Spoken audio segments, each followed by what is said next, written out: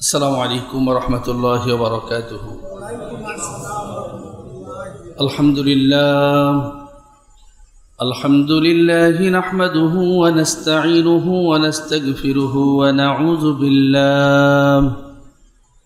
ونعوذ بالله من شرور أنفسنا ومن سيئات أعمالنا. من يهده الله فلا مضل له. ومن يضلله فلا هادي له ونشهد أن لا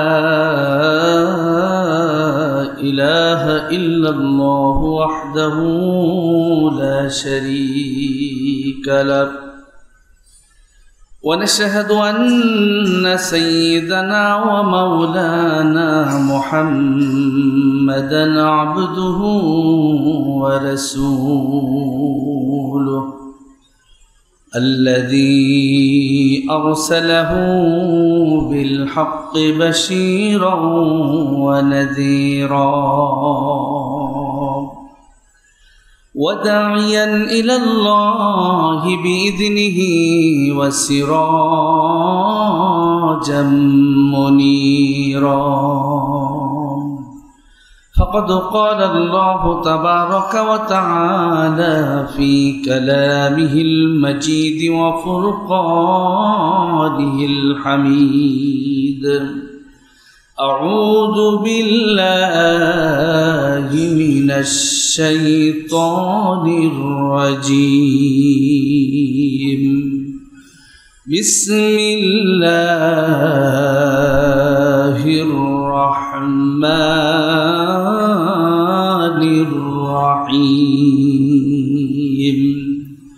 لقد كان لكم في رسول الله أسوة حسنة أسوة حسنة لمن كان يرجو الله واليوم الآخر. لمن كان يرجو الله واليوم الآخر وذكر الله وذكر الله كثيرا আল্লাহ রব্বুল আলমিন প্রতিকূল আবহাওয়ার মধ্যেও এলাকার মধ্য থেকে বাছাই করে করে আল্লাহ পাক দয়া করে আমাদেরকে আল্লাহর ঘর মসজিদে জুম্মার নামাজ আদায়ের জন্যে, কোরআন থেকে আলোচনা শোনার জন্যে খুদ্া শোনার জন্যে মসজিদে আসার বসার তৌফিক দিয়েছেন। এজন্য আমরা সবাই রব্বুল আলমিনের দরবারে কালিমাতুর শুকুর আদায় করছি, সকলেই পড়ছি আলহামদুলিল্লাহ। প্রাণ ভরে সেই নবীর উপরে সালাতু সালাম পেশ করছি, যিনি আল্লাহর সৃষ্টির সেরা আকর্ষণ। যিনি বিশ্বসভার সভাপতি, যিনি সৈয়দুল কাউনাইনি ওয়াসাকলাইন যিনি রহমাতুল্লিল আলমিন, যিনি কিয়ামতের কঠিন ময়দানে উম্মতের জন্য কাঁদবেন, প্রাণ ভরে সেই নবীর প্রতি সালাত সালাম পেশ করছি। সকলেই পড়ছি পবিত্র কোরআনুল করিমের সোরা আহজাবের একুশ নম্বর আয়াত তেলাওয়াত করেছি। এই আয়াতকে সামনে রেখে আমরা কিছু গুরুত্বপূর্ণ আলোচনা শুনব ইনশাল সোরা হাজাবের একুশ নম্বর আয়াতে রব্বুল্লাহ আলমিন বললেন, তোমাদের জন্য মডেল, তোমাদের জন্য আদর্শ, তোমাদের জন্য উসওয়াতুন হাসানা, তোমাদের ফলো করার জন্য একজনকেই নির্ধারণ করে দেওয়া হয়েছে। তিনি হলেন তোমাদের নবী মোহাম্মদুর রসুল্লাহ কেউ যদি বলে, মেসি আমার মডেল এই জন্য মেসির মতো চুল কাটে। নেইমার আমার মডেল সাকিব খান আমার মডেল শাহরুখ খান আমার মডেল অমক নেতা আমার মডেল অমক নেতার আদর্শের সৈনিক। এই জাতীয় শব্দ কি আপনারা শুনেছেন? যদি কেউ এই জাতীয় কথা বলে, তার জন্য বিশ্বনবী ছাড়া মুসলমান যদি কেউ দাবি করে, মুসলিমের বাইরে যারা আছে মডেল হিসেবে শুধুমাত্র একমাত্র, কেবলমাত্র আল্লাহ নবীকেই ফলো করতে হবে। এছাড়া অন্য কোনো কেউ নেতা হিসেবে যদি তোমার, তাকে যদি তুমি সাব্যস্ত করো, বিশ্বনবী বাদে মুসলমান হয়ে যদি এই কাজ করো, কিয়ামতের ময়দানে নবীজির সুপারিশ সেই লোকটা কি পাবে? যেই নবী উম্মতকে বাছাই করবেন, আপনি নবীকে ওভারটেক করে আর একজনকে নেতা মানলেন আর একজনকে মডেল মানলেন।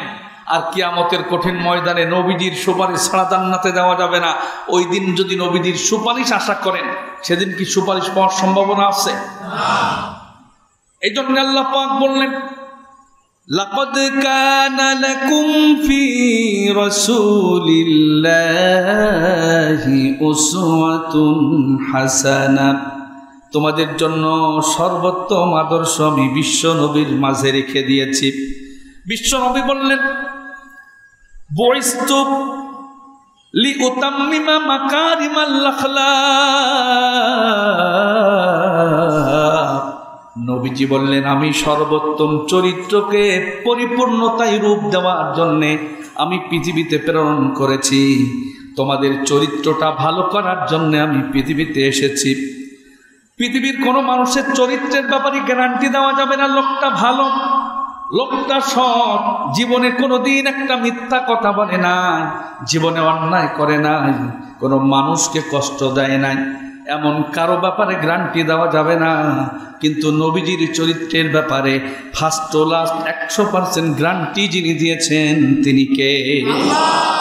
স্বয়ং তার চরিত্রের ব্যাপারে তার চারিত্রিক বৈশিষ্ট্যের প্রশংসায় পঞ্চমুখ হয়েছেন স্বয়ং আরশের মালিক যিনি তিনি রব্বুল আলমিন। তিনি আল্লাহর নবীজির প্রশংসা করে, কোরআনুল ক্যারিমের ভিতরে তার চরিত্রের প্রশংসা করেছেন, আখলাকের প্রশংসা করেছেন। আল্লাহ পাক বলেন, ওয়া ইন্নাকা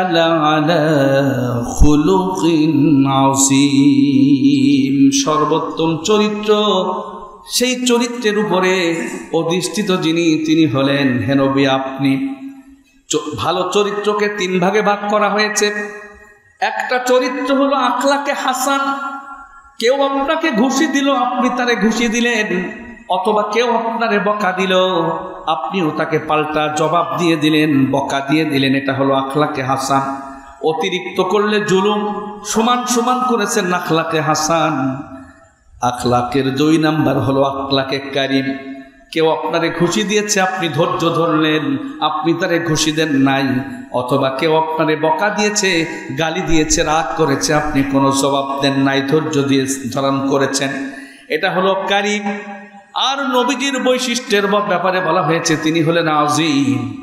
শত্রু যখন তাকে কটু কথা বলেছে, শত্রু যখন তারে আঘাত করেছে, উল্টা তিনি তাকে আঘাত করেন নাই। তাকে কথা দিয়ে জবাব দিয়ে কষ্ট দেন নাই। এমনকি তিনি ধৈর্য ধারণ করার পাশাপাশি ওই শত্রুর জন্যে তিনি রব্বুল আলমিনের কাছে হেদায়তের দোয়া করেছেন। তিনি তার কালিমা গ্রহণের ব্যাপারে দোয়া করেছেন তার মঙ্গল কামনা করেছেন করে তাকে বুকের সঙ্গে জড়ায় নিয়েছেন। এই চরিত্রটাই হলো আজিমের চরিত্র জোরে কনসবাহান আল্লাহ আল্লাহর কোরআন জানাই দিয়েছি মাইয়ুতির রাসূল আতা আল্লাহ যে নবীজিকে অনুসরণ করবে, নবীজিকে অনুকরণ করবে, সে নবীজিকে যেন অনুসরণ করল না, সে স্বয়ং আল্লাহকে অনুসরণ করল। জোরকন সুবহান আল্লাহ যদি আপনি নবীজির চারিত্রিক বৈশিষ্ট্যের সাথে যদি আপনি চরিত্র গঠন করতে পারেন, নবীজির আদর্শিক যে গুণগুলো আছে ওই গুণ যদি আপনি অর্জন করতে পারেন, তাহলে আপনার পুরস্কার হিসেবে কি দেওয়া হবে নবীজি বলেছেন, ওই লোকটা আমি আর ওই যে আমার সুন্নতকে অনুসরণ করেছে, আমার ফলো করেছে, ওই লোকটার আমি একসাথে কেয়ামতের মাঠে জান্নাতে চলে যাব। পাশাপাশি জান্নাতে থাকা যাবে, যদি আপনি এই গুণগুলো অর্জন করতে পারেন, নবীজির সুন্নাকে ফলো করতে পারেন। নবীজি বলেছেন, মান আহাব্বা সুন্নাতি ফাকাদ আহাব্বানি। আমরা তো নবীজিকে দেখি না। নবীজির কথাও শুনি নাই। শুধু কোরআন হাদিসে পড়ে পড়ে নবীজির প্রতি এত ভালোবাসা, এত টান, এত মহাব্বত। নবীজি বললেন, যে ব্যক্তি আমার সোননাথকে ভালোবাসবে, ফলো করবে, ফাকাত আহাব্বানি সেজন্য সরাসরি আমাকেই ভালোবাসলো। আর আমাকে যে ভালোবাসবে, সে পুরস্কার হিসেবে জান্নাতে আমার সাথে থাকার সুযোগ পাবে জোর কনসভা এখন আমরা এক এক করে বিশ্বনবী সাল্লাহ আলী আসাল্লামের চরিত্রের কিছু বৈশিষ্ট্যের বর্ণনা দেব আর আমাদের চরিত্রের সাথে আমরা মিলাবো যে আমরা এই চরিত্র অর্জনের ক্ষেত্রে আমরা কতটুকু পিছিয়ে বা আমার সাথে এই চরিত্রের কতটুকু মিল আছে, আমি নবীজির আদর্শের এই অংশটুকু কি আমি গ্রহণ করতে পেরেছি নাকি পারি না? একটা একটা করে নবীজির আদর্শের সাথে, যেহেতু আমরা আমরা নবীজির আদর্শের সৈনিক এজন্য তার থেকে আমরা আদর্শ নেব। যেই নবী অসংখ্য অগণিত গুণাবলীর ভিতরে কয়েকটা নিয়ে আমরা আজকে আলোচনা করব ইনশাআল্লাহ। যেখান থেকে আমরা চিন্তা করব কম্পেয়ার করব যে এই গুণটাকে আমি অর্জন করতে পেরেছি? যদি না থাকে, ওই গুণটা আপনার ভিতরে যদি অনুপস্থিত থাকে, সেই গুণটা অর্জন করা। যদি আমরা সংকল্প করতে পারি, তাহলে আজকের জমার আলোচনা শোনা সার্থক হবে। এক নাম্বার নবীজি ছিলেন সত্যবাদী। এমন সত্যবাদী যে জীবনে একটা মিথ্যা কথাও তিনি বলে না। সোহানাল্লাহ বলবেন না? জীবনে তার জীবদ্দশায় তেষট্টি বছরে একবারও মিথ্যা কথা বলেন না। আমরা এখানে কেউ কি বুকে হাত দিয়ে বলতে পারব যে আমি জীবনে একটা মিথ্যা কথাও বলি নাই? আমরা এমন কোনো দিন নাই যে অসংখ্য অগণিত মিথ্যা কথা বলি না। অথচ নবীজি সাল্লাহ আলী সাল্লাম জীবনে একটাও মিথ্যা কথা বলেন নাই। তিনি তার এক নাম্বার বৈশিষ্ট্য ছিল তিনি অধিক সত্যবাদী, যার কারণে জাহিলি যুগের লোকজন, যেই সমাজের মানুষ অত্যন্ত নিচু মনের, তারা একেবারে জাহেলিয়াতের স্বর্ণ শিখরে তারা ছিল, তারা নবীজিকে আর সদিক উপাধি দিয়েছেন। আমার ভাইয়েরা রব্বুল আলমিন বলেন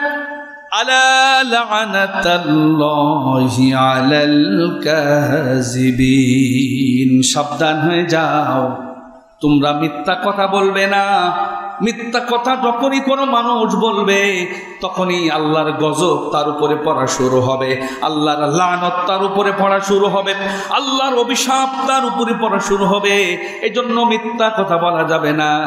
কোনো মানুষ, কোনো বান্দা যদি মিথ্যা কথা বলে, একটা মিথ্যা কথা বলার কারণে তার মুখ থেকে যে দুর্গন্ধ ছড়ায়, হাদিস শরীফে এসেছে, রহমতের ফেরেস্তা দুর্গন্ধের কারণে চোখে আড়ালে চলে যায়, দৃষ্টির অগরত চলে চলে যায়, দূরে চলে যায় একটা মিথ্যা কথা বললে। অথচ আমরা অনেকে বলি, মিথ্যা কথা না বললে ব্যবসা করা যায় না। একটু আড্য মিথ্যা কথা না বললে এই সমাজে চলা যায় না। এই জাতীয় কথা বলা লোক আমাদের সমাজে আসে না নেই? তার মানে হারাম কাজটাকে আপনি প্রমোট করলেন। হারাম কাজে যদি কেউ প্রমোট করে, তার ইমান নষ্ট হয়ে যায়। এই জন্য আপনি মিথ্যা কথা জেনে শুনে বলতেছেন, তাও বা করলে আল্লাহ মাফ করতে পারেন। কিন্তু হারাম বলার ব্যাপারে সাপোর্ট দিলে আপনি যদি হারামের ব্যাপারে যদি কাউকে উৎসাহ দেন, তাহলে আর ইমান থাকবে না, কারণ আল্লাহর ডিসিশনের উপরে আপনি ডিসিশন নিয়ে নিয়েছেন। আমার ভাইয়েরা, বন্ধুরা, আল্লাহর নবীজির বৈশিষ্ট্য ছিল তিনি সত্যবাদী ছিলেন। আর আমরা মোবাইলের মাধ্যমে মিথ্যা কথা বলি, থাকি বেনাপলে বলে, ঢাকায় আছি। খুলনায় আছে বলে, বেনাপলে আছি। এরকম মিথ্যা কথা বলাটা আমরা মামলি ব্যাপার বলে মনে করেছি। অথচ এটা হলো মুনাফিকের একটা অন্যতম ভাইরাস। এই ভাইরাসটা হলো মুনাফিকদের ভাইরাস। এই ভাইরাস যদি কারোর ভিতরে চলে যায়, ঢুকে পড়ে কোরআন বলে দিয়েছে, তার অবস্থান কি হবে সনব বাশিরিল মুনাফিকিন বিআন্না লাহুম আলিমা। যারা মুনাফিক হয়ে যাবে, যারা মুনাফিকির জাম নিয়ে যারা কবরে যাবে, মরে যাবে হেনবি তাদেরকে সুসংবাদ জানায় দিন। আলিমা।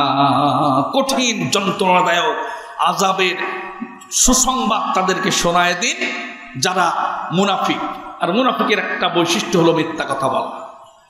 এই জন্যে আমরা সত্য কথা বলব, আর মিথ্যা থেকে আমরা পরহেজ হব ইনশাল্লাহ এক নাম্বার। দুই নাম্বার, নবীজি সাল্লাম ছিলেন আমানত আমানতদার। আমানতের কখনো খিয়ানত করতেন না। জাহিলি যুগে শত্রুরা যখন তাকে মারতে আসতেছে ঘোষণা দেওয়া হলো, মোহাম্মদকে মারলে একশো লাল উট তাকে পুরস্কার দেওয়া হবে। আল্লাহ পাক নবীজিকে জানায় দিলেন, এলাকা ছেড়ে আপনাকে হিজরত করে চলে যেতে হবে। যারা মারতে আসতেছে, তাদের অনেকের সম্পদ নবীজির কাছে তখনও গচ্ছিত ছিল।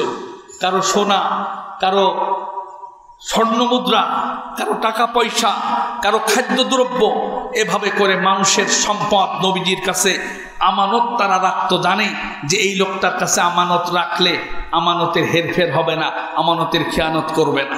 এই জন্যে নবীজি যখন হিজরত করলেন, ওই আমানতের মাল শত্রুদেরকে ফেরত দিতে হবে এই জন্য একজনকে তিনি তার বাড়িতে রেখে গিয়েছিলেন।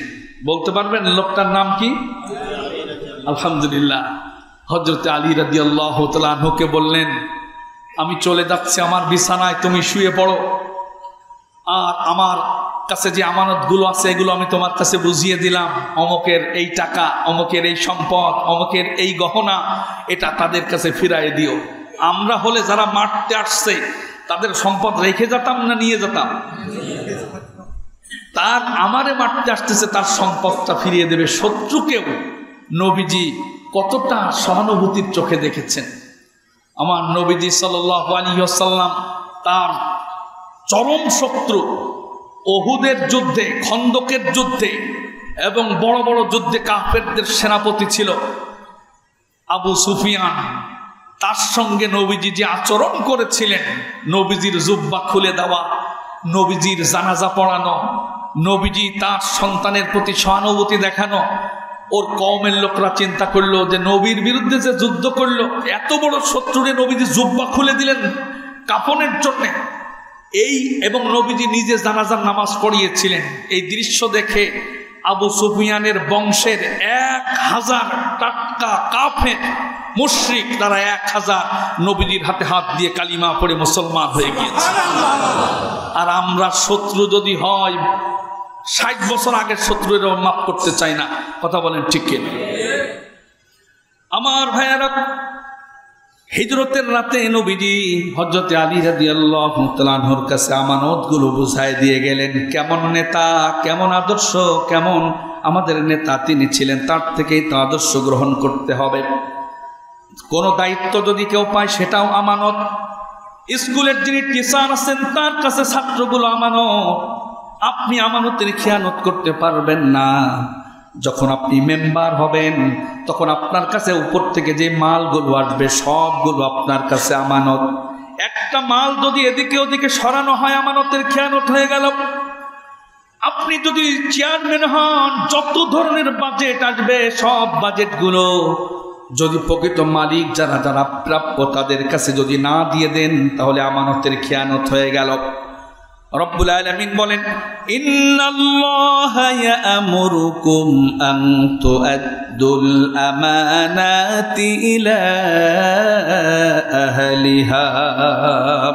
জোরে বলেন তোমরা আমানতকে যার হক, তার কাছে ফিরায়া দাও। আপনারা জানেন, গত সরকার পতনের আগে, কিছুদিন আগে বিসিএস এর প্রশ্ন ফাঁস হওয়ার কারণে একজন দাড়িওয়ালা মুরব্বীরে ধরা হয়েছিল। উনি কোটি কোটি কোটি টাকা কামিয়েছেন শুধু বিসিএস এর প্রশ্ন বিক্রি করে, চুরি করে বিক্রি করতেন। সে আলোচনা আপনারা শুনেছেন। যখন তাকে ধরা হলো, তাকে জিজ্ঞাসাবাদ করা হলো, আপনি এই কাম কেন করেছেন?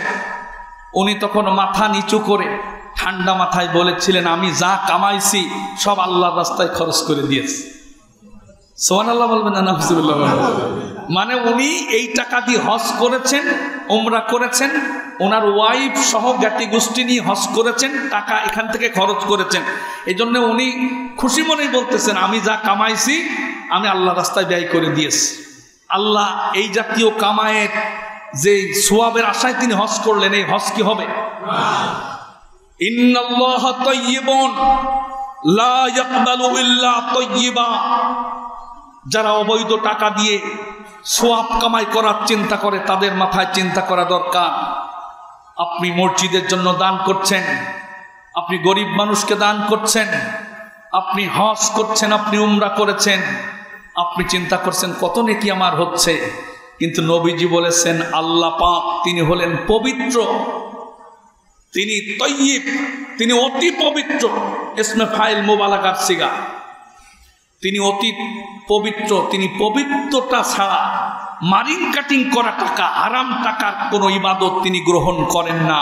আল্লাহ নবীজি বলেছেন, জোর বলেন স্বভাব এই জন্যে ওই লোক যে আল্লাহ রাস্তায় ব্যয় করল, অন্যায় করে, কিন্তু যে কাম সে করেছে, অযোগ্য অপদার্থ, যারা টাকা দিয়ে বিসিএস এর প্রশ্ন কিনেছে, ওরা বিসিএস ক্যাডার হয়ে বাংলাদেশের বড় বড় পদে বসে ওরা রাষ্ট্র চালাচ্ছে, অথচ তার যোগ্যতা নেই সেখানে বসার জন্য।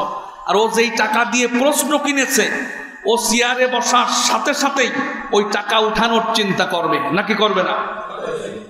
ও যদি দুই কোটি টাকা দিয়ে প্রশ্ন কেনে, ওই দুই কোটি টাকা খরচ হলে ওর আগেই ধান্দা থাকে, চেয়ারে বসে আগে দুই কোটি টাকা উঠাবো, এরপরে যা উঠাবো তাই আমার। ততটুকুই লাভ, অথচ চেয়ারে বসার সাথে সাথে আমানতের খেয়ানত হয়ে গেল।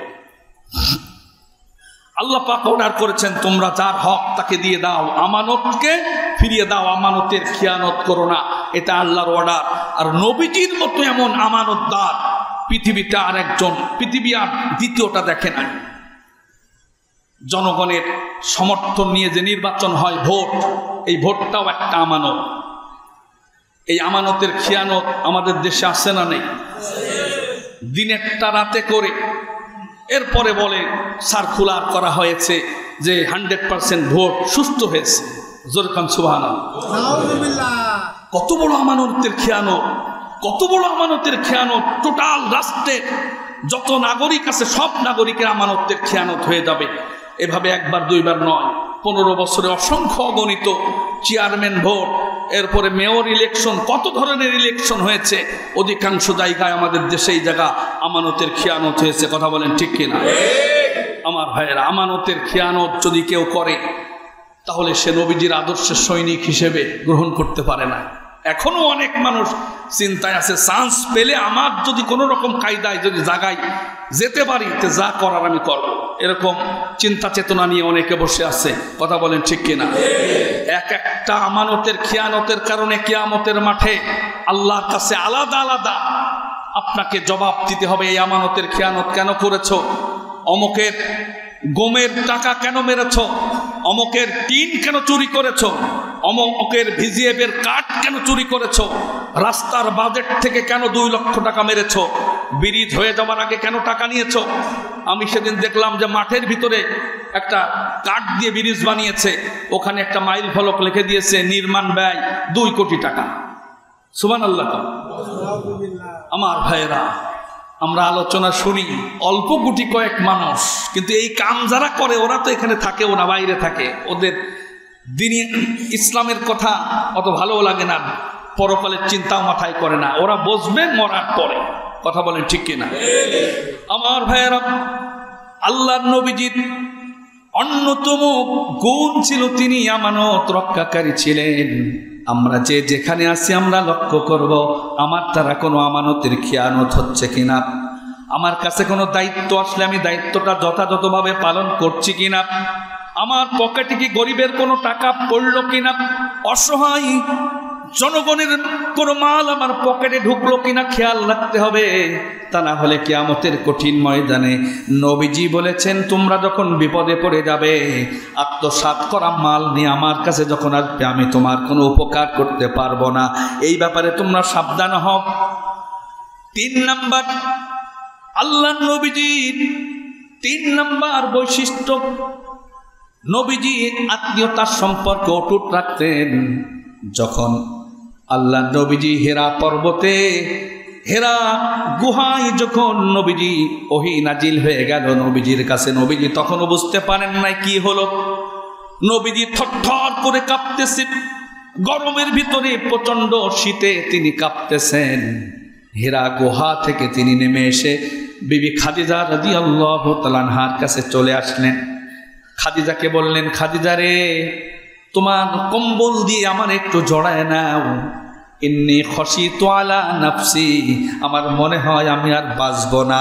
আমার নফসের উপরে আমি আশঙ্কা করছি, আমার ভয় হচ্ছে, আমি মনে হয় মারা যাব, আমি বোধ হয় বাঁচব না। সঙ্গে সঙ্গে হজ্জতে খাদিজা বললেন, লা ইউখজিকাল্লাহু আবাদা। হে নবী আপনি ভয় পাওয়ার কোনো কারণ নাই। আল্লাহ রব্বুল আলমিন আপনাকে এইভাবে অপমানিত, অপদস্থ করবেন না। আল্লাহ পাক আপনারে কোনো ক্ষতি করবে না। এটা আমার বিশ্বাস, তার কারণ হলো ইন্নাকালা তসিলুর রাহিম। কারণ আপনি হলো আত্মীয়তার হক আদায় করেন। আত্মীয়দের খোঁজ খবর নেন। আত্মীয়দের জন্য আপনি নিজের শ্রম দিয়ে টাকা পয়সা তাদের জন্য ব্যয় করেন। এই জন্য আমার বিশ্বাস আপনার আল্লাহ পাক কোনো ক্ষতি হতে দেবেন না। জোরে কন হাদিস থেকে জানা যায় আত্মীয়তার সম্পর্ক যে যত অটুট রাখবে আল্লাহ পাক তাকে বিপদ আপদ থেকে বাঁচাবেন। অন্য হাদিসে এসেছে আত্মীয়তার সম্পর্ক যদি অটুট রাখা যায় তাহলে আল্লাহ রব্বুল আলমিন তাকে হায়াতে তৈজিবা বাড়িয়ে দেন। জোরে কন সুবাহান আল্লাহ বেশি দিন বাঁচতে চান হায়াতে তৈজিবা পেতে চান আত্মীয়তার সম্পর্ক অটুট থাকতে হবে। নবীজি এই গুণটা ছিল। চার নাম্বার নবীজি ছিলেন অত্যন্ত বিনয়ী অহংকার মুক্ত। যিনি দোজাহানের বাচ্চা পরকালে তিনি শ্রেষ্ঠ মানুষ যিনি দুনিয়ায় শ্রেষ্ঠ মানুষ। তার চাইতে শ্রেষ্ঠ মর্যাদাবান আর কোনো মানুষ নাই, অথচ তিনি ছিলেন বিনয়ী, অত্যন্ত বিনয়ী। তিনি ছিলেন একেবারে অহংকার মুক্ত, তিনি ছিলেন বিনয়ী।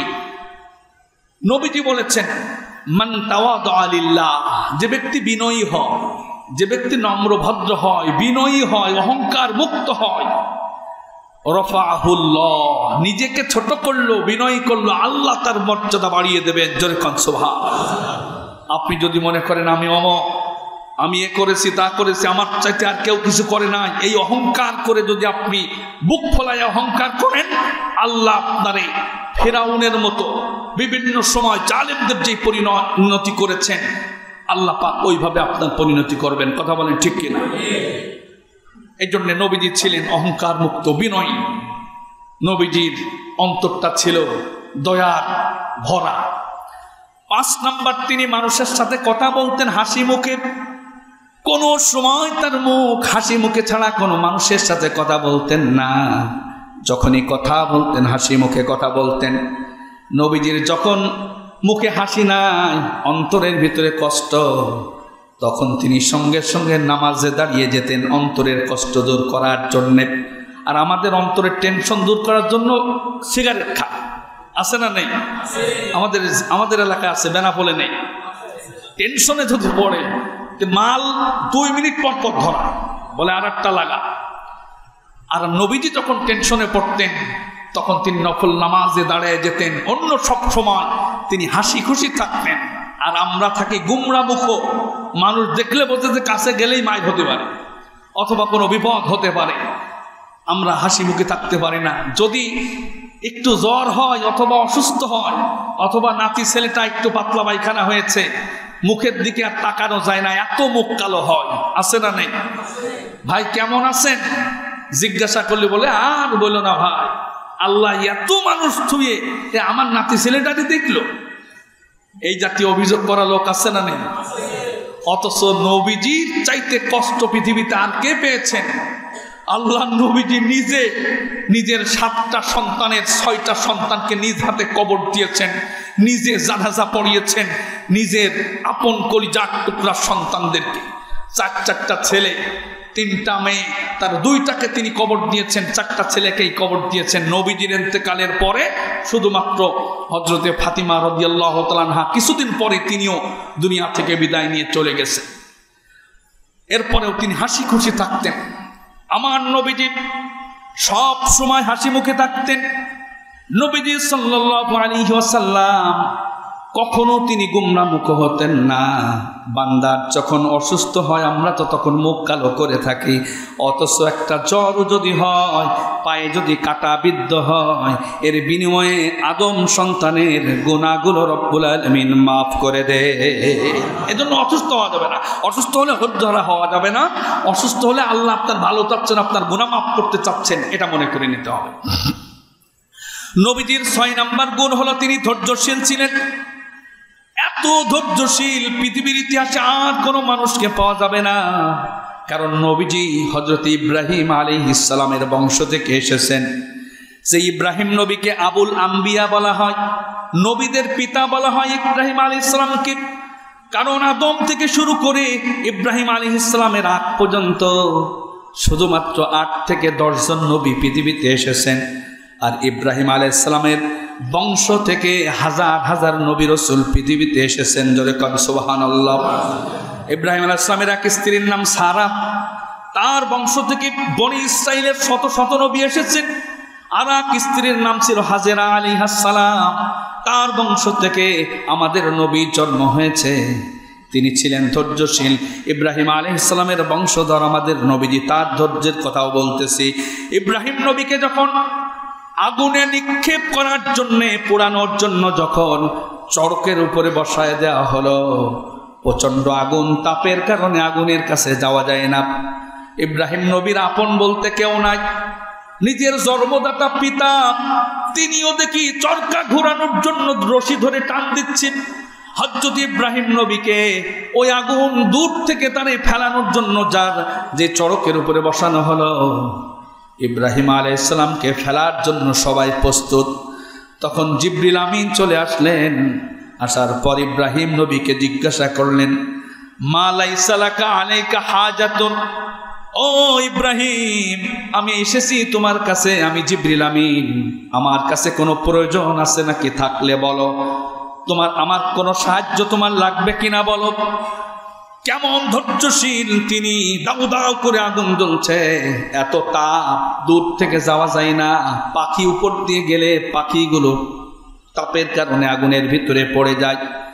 ইব্রাহিম নবী জিব্রিল আমিনকে বললেন, আমি এমন কোনো অন্ধ আল্লাহর ইবাদত করি না, যেই আল্লাহ আমার এই দৃশ্যটা দেখতেছেন না। আমার আল্লাহ তো দেখতেছেন। আমার আল্লাহর কাছে সাহায্য চাইব। তুমি জিব্রিলের কাছে আমার সাহায্যের কোনো প্রয়োজন নাই। যেই আল্লাহ আমার, আল্লাহ মানে পরীক্ষা করতেছেন, ওই আল্লাহ যদি আগুনে ফেলাটা যদি ভালোবাসেন, পছন্দ করেন, তাহলে আমি আমার আল্লাহ সন্তুষ্টির জন্য অসংখ্য অগণিতবার আমি আগুনের ভিতরে ঝাঁপ দিতে রাজি আছি। জোরে বলা যাবে কি সুবহান আল্লাহ তখন তিনি একটা শব্দ উল্লেখ করেছিলেন। ওই শব্দটা আল্লাহর কাছে এত ভালো লাগল। যে কারণে রব্বুল আলমিন সেই শব্দটা কোরআনুল করিমের ভিতরে আয়াত বানায় দিয়েছেন। তিনি বলেছিলেন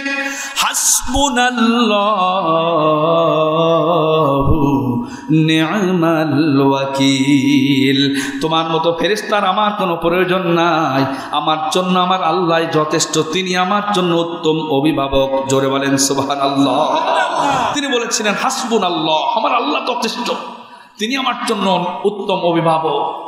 এ কথা বলার সাথে সাথে আল্লাহ দেখলেন, আমার ইব্রাহিম এত বড় বিপদেও আমার উপরে তাওয়াক্কুল করেছে। সঙ্গে সঙ্গে আগুন অর্ডার করলেন কুলনায়ানা রুকুনি বার্দা ও সালামান আলা ইব্রাহিম। ইব্রাহিমের একটা পশম তোরা পোড়াবি না, ইব্রাহিমের জন্য আগুন ঠান্ডা হয়ে গেছে, জোরে কনসভা এই নবীর বংশ থেকে এসেছেন আমার নবী। আমার নবীর ধৈর্য কেমন ছিল? বিভিন্নভাবে হাদিসে এসেছে। কয়টা বলব? নবীজির প্রশংসা সূচক আলোচনা করতে গেলে বছরের পর বছর শেষ হয়ে যাবে, নবীজির প্রশংসা করে শেষ হবে না। নবীজি কেমন ধৈর্য নিজের পিতাকে জন্মের আগেই হারিয়েছেন। মাকে নানা বাড়িতে গিয়েছেন, আসার পথে মা পথে মারা গেছে। দাসী ছিল, দাসী তাকে নিয়ে এসেছেন বাড়িতে। মা হারালো, ছোট্ট বাচ্চা, ছয় বছরের শিশু। সেই শিশু মায়ের আদর থেকে বঞ্চিত। পিতার আদর কোনোদিন পান নাই। এই মা এবং বাপ হারা সন্তানটাকে এবার পোষা শুরু করলেন দাদা। কিছুদিন পর দাদা দুনিয়া থেকে চলে গেল। কেমন ধৈর্যের পরীক্ষা তিনি দিয়েছেন। তখন চাচা আবু তালেব নবীজিকে বুকের সঙ্গে আগলায় রাখে, বাপ নেই, দাদা নেই, মা নেই, কেউ নেই, অসহায়। তিনি তাকে যখন আদর যত্ন করে মানুষ করা শুরু করছেন, কিছুদিন পর আল্লাহ পাক আবু তালেবকে দুনিয়া থেকে বিদায় করে দিলেন। কি ধৈর্য তিনি ধারণ করেছেন? মাথার উপরে যত ছাতা আছে, সব চলে যাচ্ছে। এরপরে খাদিজা রাজি আল্লাহ তালহাকে বিয়ে করলেন। ইসলামের জন্য তার টাকা পয়সা ব্যয় শুরু হলো। তিনিও আল্লাহ পাক তাকেও সরাই দিলেন, দুনিয়া থেকে বিদায় করে দিলেন। আর তোমার একটা ছেলের অসুখ হলে তুমি আল্লাহরে অভিযোগ দাও। আল্লাহ তুমি আমারই দেখলে। অথচ তোমার নবীজিকে আল্লাহ পাক কীভাবে পরীক্ষা করেছেন? নবীজিকে ইমানের পরীক্ষা কীভাবে তিনি নিয়েছেন? আমার ভাইয়েরা, নবীজি কেমন ধৈর্য ধারণ করেছেন? আমরা জানি আবার একটু স্মরণ করে দিতে চাই। তায়েফের ময়দানে নবীজি যখন গেলেন তায়েফবাসীকে যখন কালিমার দাওয়াত দেওয়া শুরু করলেন তাইপে নবীদের একটা আত্মীয়ের সম্পর্ক ছিল তাইপবাসীদের সঙ্গে নবীজির আত্মবিশ্বাস ছিল। ওই আত্মীয়ের এলাকার লোকজন আমার সাথে কোনো খারাপ ব্যবহার করবে না। অথচ তায়েববাসীরা নবীজির কালিমার দাওয়াত গ্রহণ না করে, তায়েববাসীরা তাদের দুষ্ট সন্তানদেরকে নবীজির পিছনে লেলিয়ে দিল।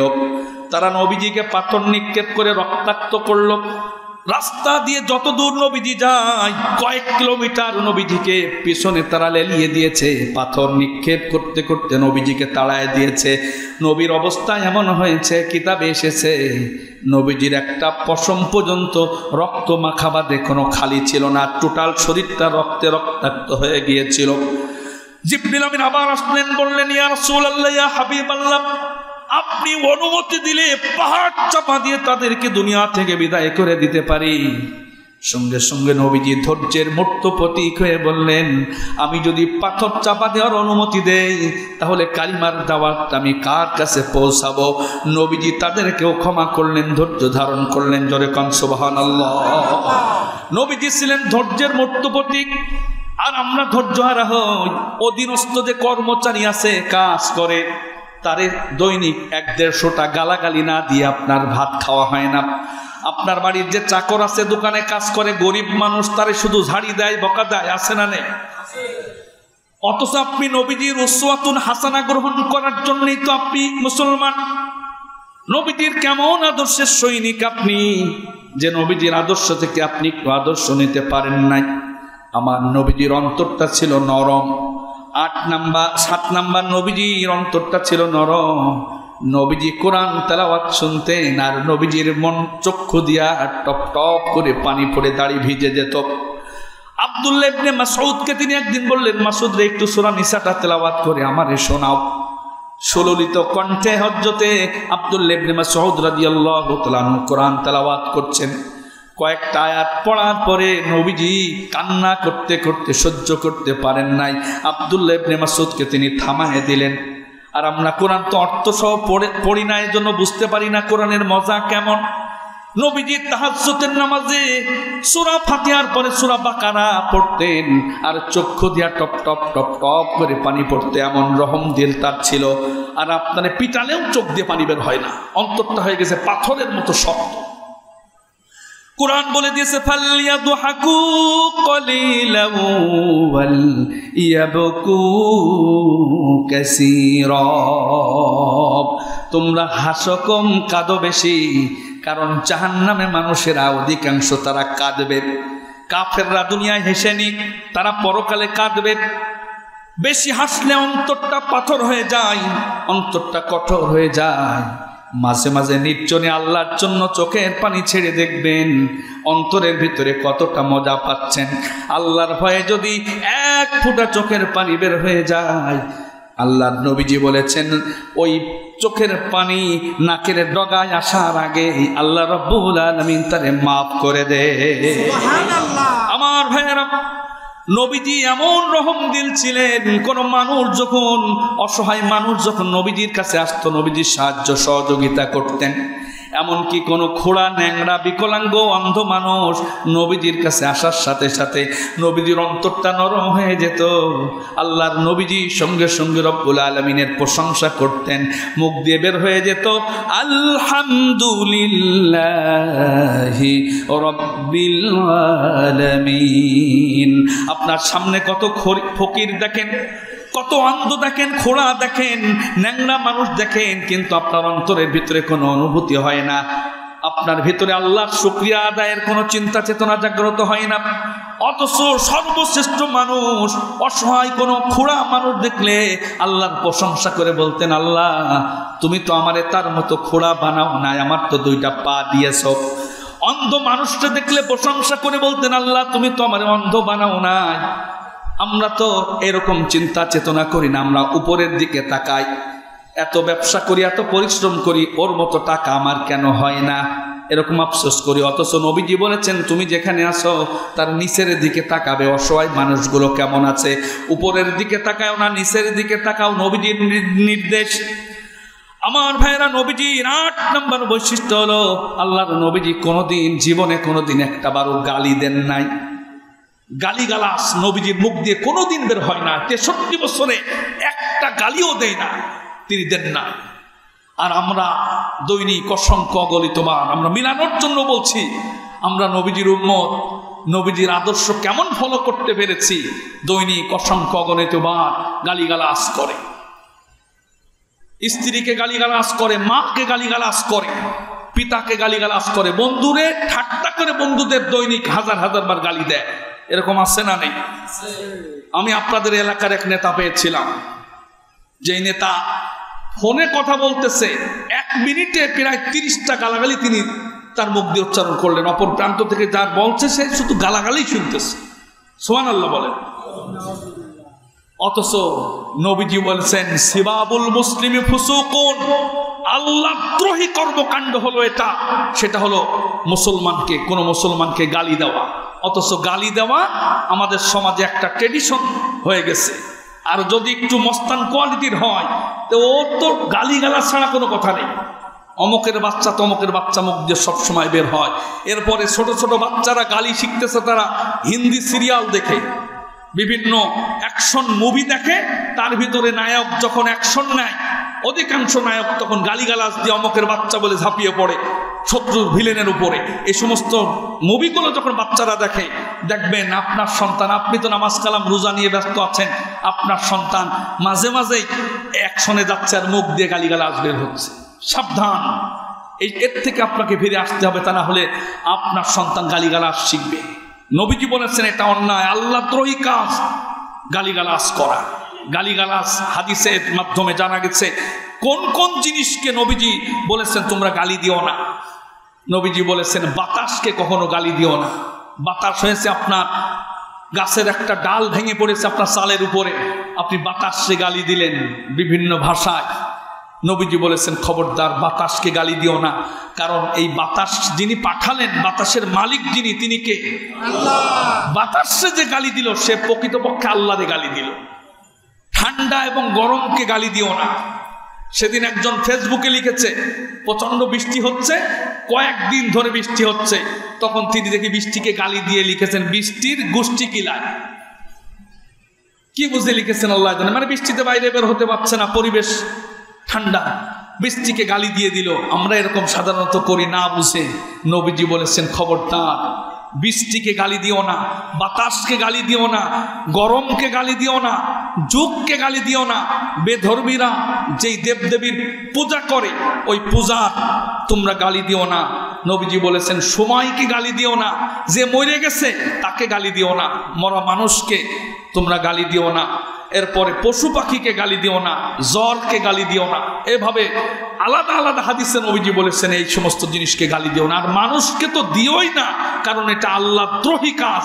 আল্লাহর বিরুদ্ধে গিয়া তুমি মানুষকে গালি দিচ্ছ। নবীজি কোনোদিন কাউকে গালি দেন নাই, কোনো শত্রুকে তিনি গালি দেন নাই। তারা গালি দিয়েছে, আমার আল্লাহ আসমান থেকে আয়াত নাদিল করে তাদের গালির জবাব দিয়েছেন, কিন্তু নবীজি জবাব দেন নাই।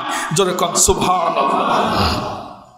আমার ভাইয়েরা আল্লাহ নবীজি সাল্লাহ আলী অসংখ্য অগণিত বৈশিষ্ট্যের ভিতরে আমরা আজকে শুনলাম আটটা, নয় নাম্বার বলে আমরা শেষ করব। নয় নাম্বার, আল্লাহ নবীজি সাল্লাহ আলী যখনই শুনতেন অমক অসুস্থ, তার কোনো উম্মত বা কোনো বান্দা অসুস্থ, তিনি সঙ্গে সঙ্গে তার কাছে গিয়ে দেখা করতেন, তার সেবা শুশ্রূষা করতেন। আমরা রোগী যখন দেখতে যাই, রোগী তো অসহায় হয়ে যায়। হাসপাতালের বেডে পড়ে আছে অথবা বাড়িতে আছে, লোকজন খাবার দিলে খায়, না হলে না খায়, অসহায় হয়ে যায়। কেউ যদি তারে দেখতে যায় রোগীর অন্তরটা অনেক বড় হয়ে যায়, অনেক খুশি হন। এমনকি হাদিসে এসেছে, কেউ যদি সকালে একজন রুগী দেখতে যায় সত্তর হাজার ফেরেস্তা সন্ধ্যা পর্যন্ত তার জন্য দোয়া করতে থাকে। এই লোকটা তারে দেখতে গেছে যেরকম শোভা সন্ধ্যার সময় যদি কেউ রোগী দেখতে যায়, পরবর্তী দিন সকাল পর্যন্ত সত্তর হাজার ফেরেস্তা একসাথে শুধু ওই বারোটা ঘণ্টা তার জন্য শুধু দোয়াই করতে থাকে ওই সত্তর হাজার ফেরেস্তা যেরকম শোভা এই জন্য আমাদের সমাজে কেউ অসুস্থ হলে আমরা তাদের দেখতে যাব। হাদিসে কুচ্ছির ভিতরে এসেছে আল্লাহ পাক, তিনি কিয়ামতের মাঠে বলবেন, আমি অসুস্থ হয়েছিলাম, তোমরা একটু আমারে দেখতে যাও নাই। তখন মানুষ বলবে, আপনি তো বাদশার বাদশা, আপনি তো মালিকুল আমলা আপনি তো মালিক আল মুল্ক, আপনি রাজা ধীরাজ আপনারে অসুখ হবে, আপনারে দেখতে যাবে সাহস কারে, আজ কার আছে, বা এটা কি করে সম্ভব? তখন আল্লাহ বললেন, কোন বান্দা আমার যখন অসহায় হয়ে অসুস্থ হয়ে পড়ে থাকে তখন তারে দেখতে যাওয়া মানে আমারে দেখতে যাওয়া। জোরে খান সোভা এই জন্য নবীজি সাল্লাম অসুস্থ মানুষদেরকে দেখতে যেতেন। একবার নবীজির একজন খাদেম ছিল, ইহুদি খাদেম। ইয়াং মানুষ অসুস্থ হয়েছে, বাড়িতে কাজ করতে পারে না, বাপের বাড়ি চলে গেছে। নবী আমার তাকে দেখতে গেলেন। রহমাতুল্লিল তার চাকরের মাথায় হাত বুলায় দিলেন, আদর যত্ন করলেন, অবস্থার খোঁজ খবর নিলেন, সেবা শুশ্রূষা করলেন। এর পরে তাকে বললেন, তুমি কালিমা পড়ে মুসলমান হয়ে নাও। নবীজি যখন বললেন, তখন ছেলেটা তার পিতাকে খুব ভয় করত। হাদিসে এসেছে, সে তার পিতার দিকে তাকালো, যে পিতা কি বলে? পিতা তখন বললেন আতি আবুল কাসেম, হে কলিজার টুকরা সন্তান, আবুল কাসেম মানে মোহাম্মদ সাল্লাহ ইসলামের ডাক নাম ছিল আবুল কাসেম। তার পিতা, সেও মুসলিম কিন্তু তিনি বললেন, কলিজার টুকরা সন্তান, তোমার অবস্থা তো খারাপ, তোমার ভাব ভালো না। যেহেতু তোমার এত বড় একটা নেতা দেখতে এসেছেন, একটা আবদারিত করেছেন, তুমি তার কথা মেনে নাও, তুমি কালিমা পড়ে মুসলমান হয়ে নাও। সঙ্গে সঙ্গে তিনি কালিমায় শাহাদাত পাঠ করলেন। পাঠ করার পরেই তিনি দুনিয়া থেকে বিদায় নিয়ে চলে গেলেন। নবীজির সঙ্গে সঙ্গে তার মুখ দিয়ে যে কথাটা বেরিয়েছিল হাদিসে স্বর্ণাক্ষরে সেটা লেখা আছে। আল্লাহ নবীজি বলেছিলেন?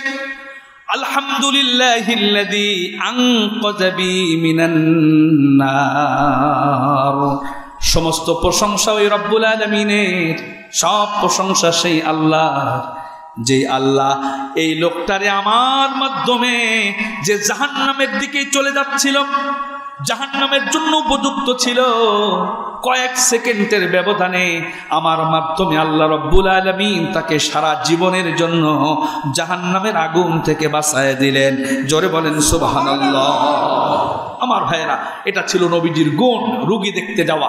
আল্লাহ পাক আমাদের সকলকেই নবীজির এই উসওয়াতুন হাসানা, উত্তম আদর্শ থেকে আদর্শ গ্রহণ করা তৌফিক দান করুক বলি, আমিন।